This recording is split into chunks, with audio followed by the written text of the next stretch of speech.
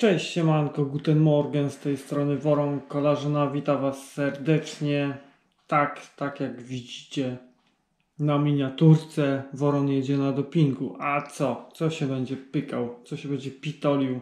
Doping to doping, trzeba, trzeba być lepszejszym. Coraz to le- lepszejszym. Ale tak śmiechem, żartem chciałem w tym filmie nawiązać do jakiś czas temu małej afery dopingowej w Hiszpanii na wyścigu amatorskim na 182 zawodników 130 się wycofało. A to dlaczego tak się stało? Między sobą zaczęli kolarze rozmawiać, że właśnie miała być, że ma być na mecie kontrola antydopingowa i okazało się, że kolarze nagle zaczęli zgłaszać problemy z przebitymi y, oponami, defekty rowerów czy różne inne niedyspozycje. Y, W artykule mamy napisane, że do mety dojechało właśnie 52 kolarzy. I chciałbym przy okazji sprawdzić, czy Worą Kolarzyna, y, biorąc swoje y, koksy na jelitkowo, też jest na dopingu, bo bardzo mnie to ciekawi, jak to wygląda w mojej kwestii. I sprawdźmy to, czy jestem na pewno i naprawdę na dopingu. Także ja tutaj posłużę się trochę ściągaweczką. Będę sobie tu klikał, wy wszystko będziecie widzieli obok. Pierwsze wchodzimy sobie na stronę antydoping.pl. Tutaj wchodzimy sobie trochę dalej, przewijamy. Na stronie na komputerze, na normalnej przeglądarce wygląda to trochę inaczej. Wchodzimy sobie na bazę leków i tutaj widzimy, że baza jest zaktualizowana na 2024 rok. No i podkreślamy sobie, że jesteśmy sportowcem, amatorem. Nie będziemy sprawdzać dla zawodowców, bo nie ma to w ogóle żadnego sensu. I tak, w tym momencie musimy wpisać, co takiego przyjmujemy. Ja się trochę przygotowałem. Wziąłem pudełeczka i ulotki, które znajdują się w środku, ale ulotek nie będę wyciągał, bo już trochę sobie tutaj poklikałem, jak to będzie wyglądało. To tak, na stajni Worona, jeśli chodzi o koksy, jest loperamid, który zatrzymuje e, biegunki. I tutaj drugi medykament, który przyjmuję regularnie, jest to duspatalin, retard, który ma za zadanie mm, wspomóc e, pracę mięśni jelit, żeby lepiej one sobie pracowały. I teraz jak to sprawdzić, co takiego znajduje się w tych e, tabletkach? Po pierwsze, albo ulotka.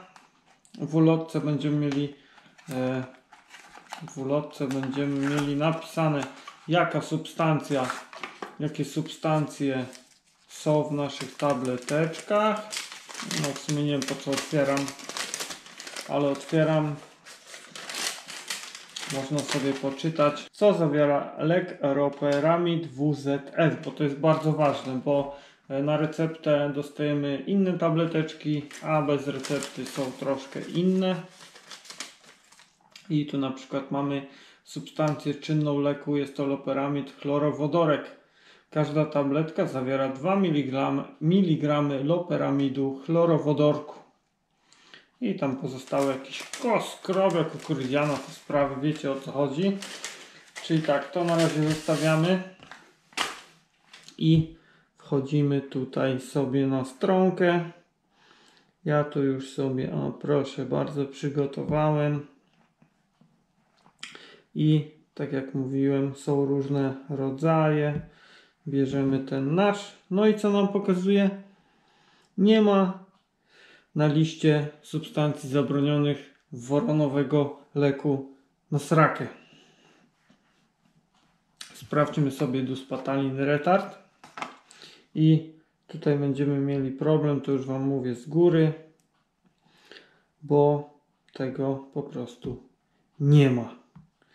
Czyli tak, po leku, po nazwie leku nie mamy nic. Żeby nie było, tutaj mamy mebeverini hydrochloridum jakieś substancje. Ja sobie ją już tutaj zaraz Wam pokażę. To są, e, to jest chlorek mebeweryna. Boże, czytanie tych nazw to jest masakra jakaś.